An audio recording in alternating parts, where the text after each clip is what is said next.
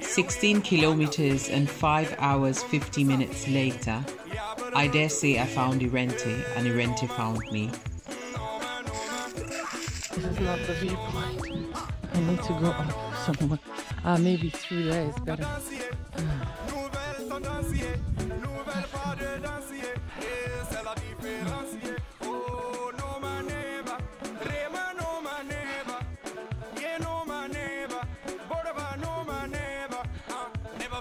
Google is a bit misleading, but either which way we'll get to, uh oh, to the top.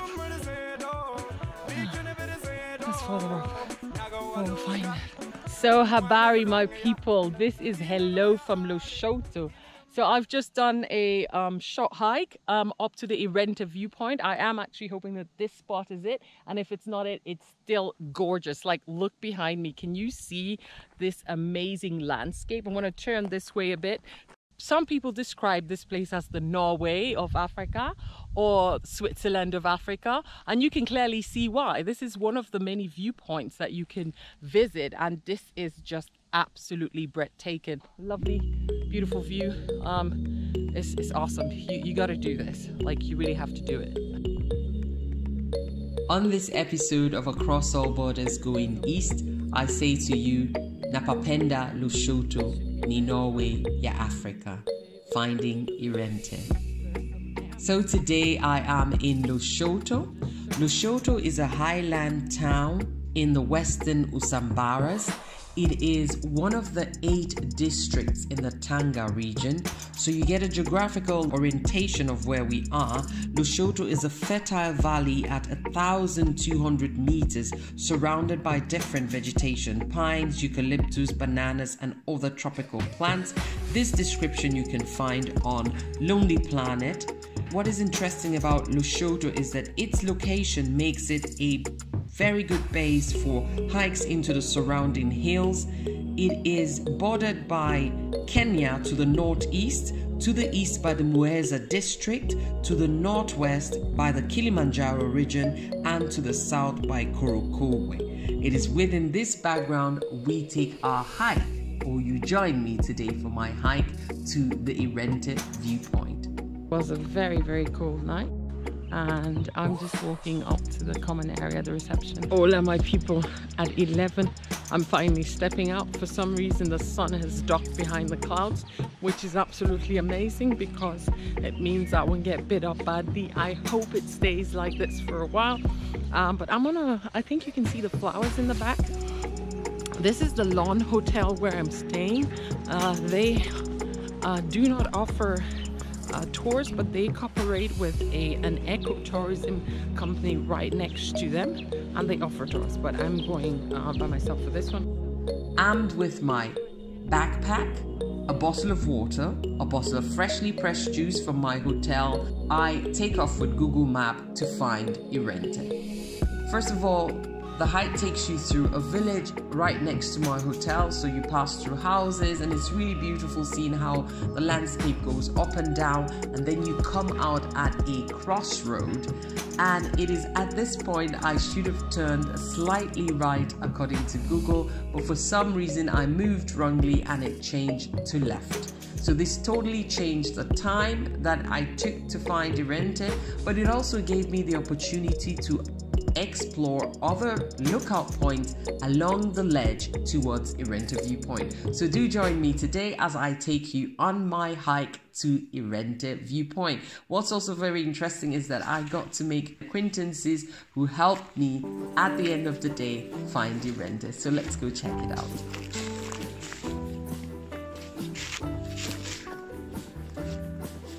We're gonna go up to the Irente viewpoint and I've got little spectators on the way. Uh, up, up, up. Hello. How are you? You're gonna be inside if you keep looking. Mm, we're gonna go up. And I've got two little spectators trying to see which way. Nee, habe ich nicht.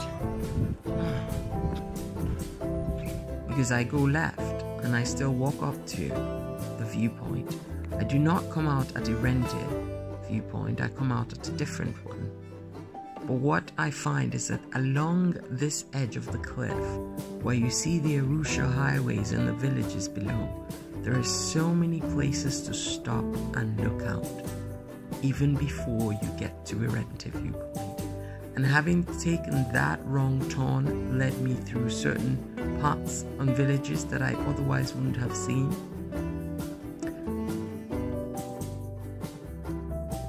Wandering up the forest path takes me to the viewpoint where I finally see someone on my hike.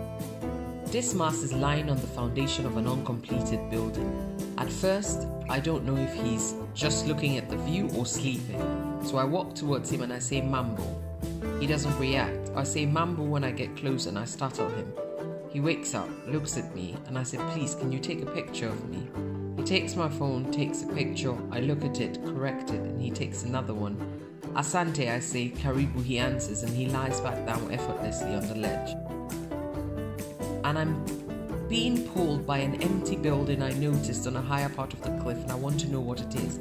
I start to walk towards that empty building, and I find another lookout point. And whilst I was looking at this particular one, I noticed Dismas had gotten up and gone to one of the rocks at the ledge. And that's how I saw, oh, there is a part going down and I want to go on it. So I start to make my way towards him. And that's how I get to make the acquaintance of Dismas, who is actually a potato farmer from Lushoto, but on that day became my hiking buddy, director, producer, and cameraman. Um, but yeah, that's the drop, guys. That's the drop. Do you see it? It's wicked. So I saw a part next to the trees, so I'm thinking this is it. Ah, so you got up. you got up to explore yourself, huh? Did you go down? Where did you go?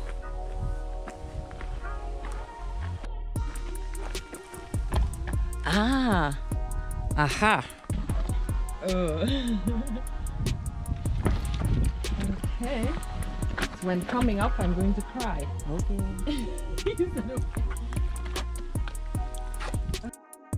yeah. Oh my god. Guys, this is crazy. Do not dirt unless you got like a local with you. Where you come from? Nigeria. Nigeria? Yes, you know? Yeah. Niger. Niger. Omo Niger. Okay. Wow. What's your name? Dismas. Bismarck? Dismas. Bismarck. Yeah. I can't take this now. Careful. These folks don't want to go tumbling down. Wow. so guys, Bismarck brought me down here. We made it to the ledge and we're going to try to shoot some shots from here. But it's absolutely crazy. It is crazy, it's beautiful and I'm going to see if I can go back up. Um, but we're going to try to do some shots from here before Asante. Okay.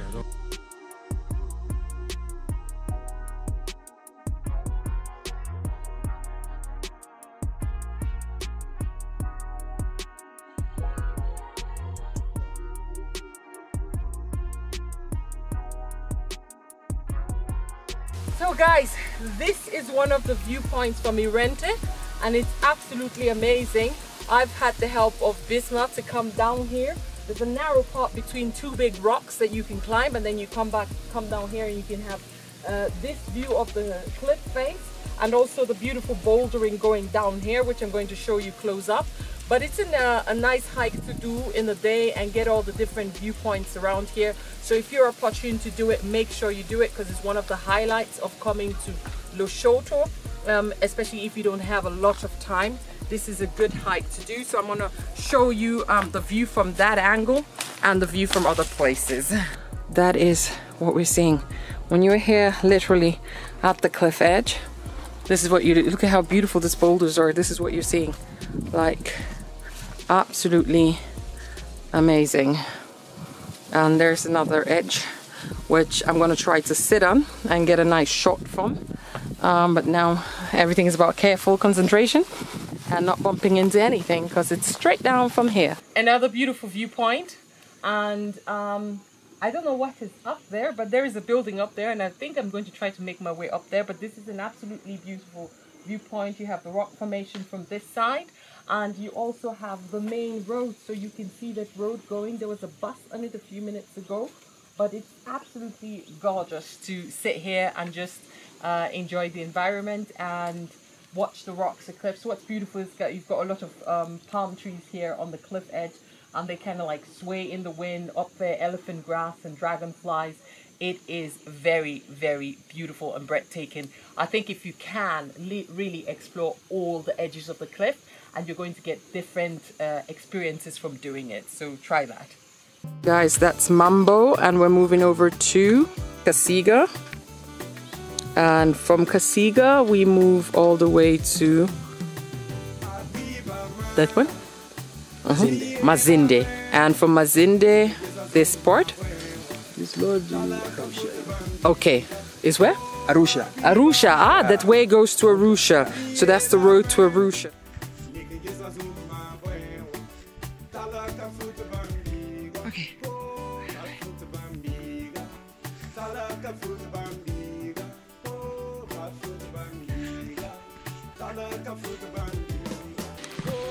Up finally to Irente. So God, I bumped into him because I doubt that I would have found this viewpoint. Well, we're doing it, we're doing it, and I'm super excited. So let's go see it. She's country 2000. So when we find somebody, we'll do that. No. Wow. Oh my word. Okay, we're gonna try and make our way up. I, I hold Sportifast, my acquired a guide. He has really made my wandering worth it. Um, I'm happy I bumped into him. That's the kind of experiences I prefer. Because um, um, then you see a bit more because you get lost. And then you find someone that shows you the right way like he did and um, get and see a bit more. So let's do it. So, hi Pascal. Hi, how are you? I'm good. Can you tell us where we are right now, first of all? Oh no, this is the electric viewpoint. Mm-hmm. Sambara Mountain. Mm-hmm. 1,500 meter here, mm-hmm. above the sea level, mm-hmm. 500. Mm-hmm. So when you have time, I told you you were welcome here, Lushoto, Tanzania. Mm-hmm. And we have the three uh, press to go to see the viewpoint. Mm-hmm. And we have uh, the hiking here only three days mm-hmm. from here to Lukozi, Lukozi to Rangwi, Rangwi to Mtae. Mm-hmm. So it's best to go to see the Kilimanjaro from here, Usambara Mountain. Ah, okay. Yeah, so you get a good when, viewpoint. When I don't see the the cloud like that, I can see the Kilimanjaro. Mm, okay. Yeah, so, so also we have the waterfalls here. Yeah, so I told you you were welcome. Mm-hmm. And when you need hiking for three days, you pay like three hundred dollar. Okay, and what's the per person? And what's the major attraction by the three day hiking? Uh, I can see the rainforest and also vervet monkey, colobus and white and chameleon, and also I want to show you other something very nice fruity from here. And we have plums, apple, peaches. So Christmas time is better to eat. And also there is a hotel to Mambo Viewpoint. Mm-hmm. I can sleep there only three days. So that is $300 including sleeping and breakfast and lunch mm-hmm. and guide fees. Okay. That is offer for you if you come here. but sometimes when people is coming here from German, then charging is like $500. Okay guys, we have made it to the Irente viewpoint. It is absolutely beautiful. If you come to Lushoto, make sure you make it up here. You get an amazing view of the city. You get an amazing view of the highway that takes you to Arusha and to other parts, Dar es Salaam. And what I love about this place is that it's a perfect hike. You can go along the ledge. So if you look that way, we've gone to so many viewpoints along that ledge. The different rocks that you see, we've stopped there. You can actually stop and look out there. So it's absolutely worth your while. To get to this particular viewpoint, it's a 2,000 shilling fee and um, that's to support the upkeep of the village. But another interesting viewpoint that we're going to try to see today is also, I think it's called the Professor Viewpoint and that's next to Paradise Hotel. That one costs 5,000 shillings to go in and um, you can have a beautiful sunset either there or here depending where you prefer. If you do not want to repeat the hike, you can take a bike to come up to both viewpoints or a four-wheel drive for Paradise because it's a bit difficult. Otherwise, when you get here, ask for Pascal, who's able to take you on a three-day hike to the Mambo viewpoint, where you can also sleep in the Mambo Hotel and get to see lots of species in the forest, in the Usambara mountain range. So do make sure you come here if you come to Lushoto, because after all, they do say this is the Norway of Africa or the Switzerland of Africa. Thank you so much. Ciao, ciao. After Irente Viewpoint, we started our way down to Irente Farm Lodge. The good thing about this route is that you pass through villages, and this is the point where you need to decide do I want to do this hike with or without a guide? Because fortunately, I had Dismas with me, and he was able to point out trees, plants, and different things as we walk past the village. If you did it alone, except you've read up about the species, you might have to be wondering what you're seeing or not even realize what you're seeing. So, this is Phiox, and that's the tree where it comes from. And um, I thought it was a mango, but it's not a mango. It's, um, I think it's like a peach. It's like peaches, probably the ones I bought as well. My way in, I used a different route. I was following Google, but this is like an easier route, probably where the bike would follow. And it shows the sign for Irente Viewpoint. It's right next to the signboard for the Cliff Lodge. And there's the school. So that's a sign for you to know you're going the right way. There's the school. And this is like a much broader road than the one I followed. And we're going to head that way, which is absolutely gorgeous, the view. This is the Karatusi. It's a rather very tall tree as you can see, one down the road. And I think that's the same one that we have in Nigeria as well, because I know the smell of the leaves. And um, they have a very strong smell, but also very beautiful in the skyline. When you come to this point, this is where you take this road up to Paradise Hotel, and this way to Irente Farm, and this way down back to town. So we're gonna um, go to Irente Farm Today, no Paradise Hotel. I'm tired, so let's go to Irente Farm. When we got to Irente Farm Lodge, I decided to get. I wanted a coffee so badly, but then they had this amazing juice offer, so I had the juice. And then at this point, it started to rain. So do note during these months, the raining season in Lushoto, it can rain a couple of times during the day. Do not let this deter you. If you find shelter somewhere, go under it, enjoy the views, wait for the rain to stop because it will stop and the sun will come out. Um, this is a point where Dismas took his leave and I showed him some gratitude for joining me uh, because I think he didn't have to do it, but he did it without asking anything. I was looking forward to the rest of my hike, which was another one hour walking back through the part that I should have gone in the first place. I love this one because it's just like walking through the forest and you have these huge trees beside you and it is absolutely breathtaking. You have bikes coming by you, people walking back from home. Um, it just takes you through um, the daily lives of people that are in Lushoto whilst you go about your hiking and um, adventures. And to end the day perfectly, we had a grill and a fire outside at Adolon's Hotel. So I do hope you've enjoyed this episode of Finding Irente in Lushoto. Thank you very much for watching. Yours truly, Liesel81. So I've got in here pineapple, banana, mango, um, cucumber. Absolutely amazing. Was a liter or 1.5 liters we're almost out of it. and I do need it to get light on my bag. It's heavy, so I'm gonna go there and look for that young man I saw, and get him to take some shots and videos.